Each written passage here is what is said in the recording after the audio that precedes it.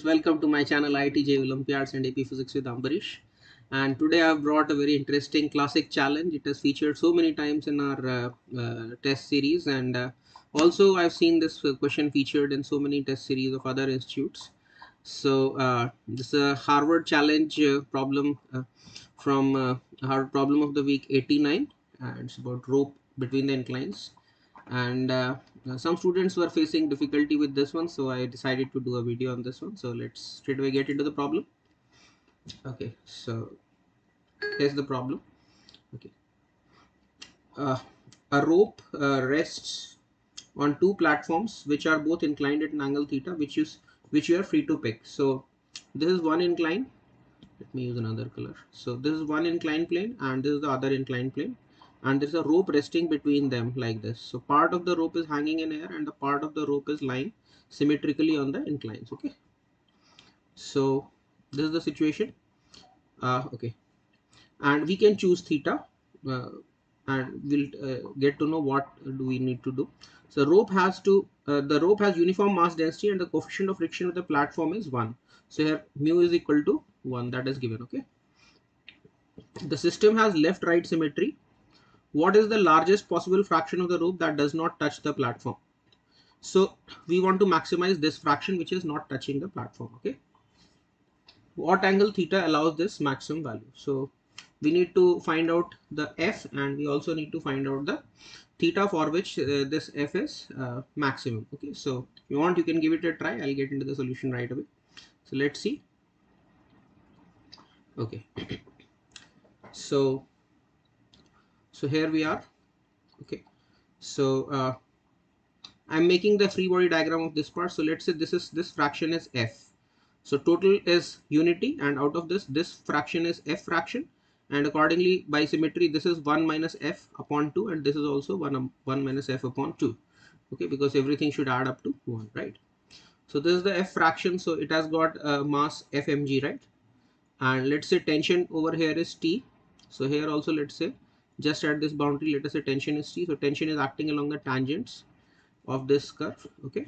So we can say that uh, 2t sine theta so horizontal angle this so t sine theta and t sine theta are balancing this mg so t, 2t sine theta should be equal to fmg fair enough vertical force balance for the part hanging in air. Then uh, now consider the fbd of this part this much that's lying on the incline. So here we have this tension t acting downward. So tension t acting downward there's some normal reaction and uh, when we are maximizing obviously we are using friction to the fullest. So the friction is limiting. It's at the verge of slipping. So here there is normal reaction and this is mu n okay? Okay. So now uh, i'll consider the force balance in this direction as well as this direction okay? So if we consider the force balance in this direction what do we get?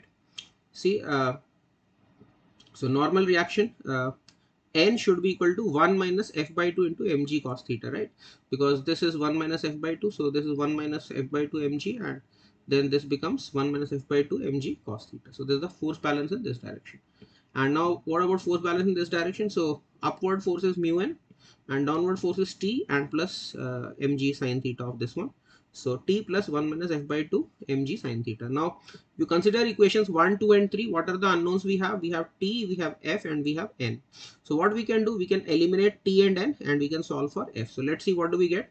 So if we eliminate n and t and we solve for f, uh, I have uh, not done the entire dirty work here but uh, uh if you just eliminate little bit of maths you can solve for f and this is what you get and now I can of course put mu equal to 1 in this and then some simplification. So if you put mu equal to 1 so this becomes 1 minus tan theta and you multiply sine theta inside. So this becomes sine theta minus sine square theta upon cos theta. And this is cos theta plus sine theta in the denominator. Again multiply denominator and numerator by cos theta. So this. And now here uh, see denominator becomes cos square theta plus sine theta cos theta and numerator is sine theta cos theta minus sine square theta so what I can do sine square theta I can write as 1 minus cos square theta. So this becomes what then? Numerator becomes sine theta cos theta plus cos square theta minus 1 and this is the same thing in denominator. And uh, let's call this as f of theta. So this becomes f of theta minus 1 divided by f of theta where f of theta is this part. And uh, you can further simplify. This is 1 minus 1 upon f theta. See.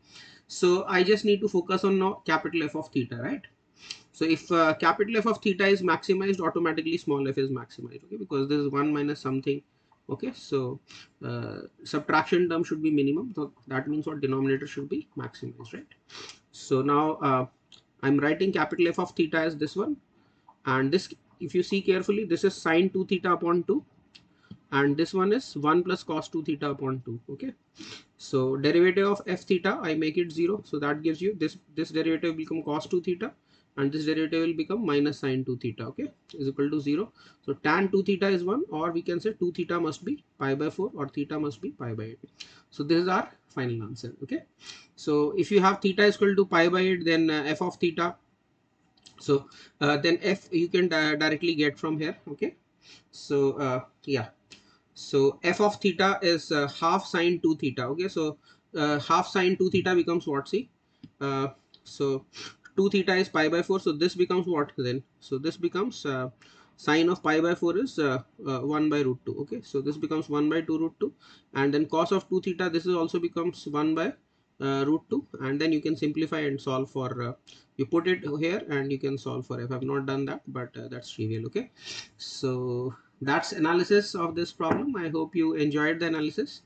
And if you enjoyed the analysis please do give a thumbs up to this video and please share this video as much as possible with your friends through whatsapp discord telegram or whatever medium you use for networking with your fellow students.